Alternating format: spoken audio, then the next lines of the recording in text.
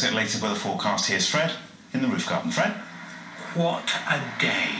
We seem to have had everything. We've had torrential rain, there's been thunder, there's been gusts of wind. But on Granada Reports, we always like to try and bring you the most spectacular images.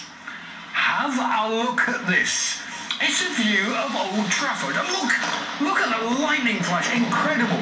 Uh, that was taken by Paul Gregory. He a camera phone or something like that and sent it. Absolutely superb. I love things like that. But that's the thing, you see, it's the power of nature. You know, the weather is something we can't control, and it's just wonderful. We've had well, superb things happening today, and that's what makes it so, so special.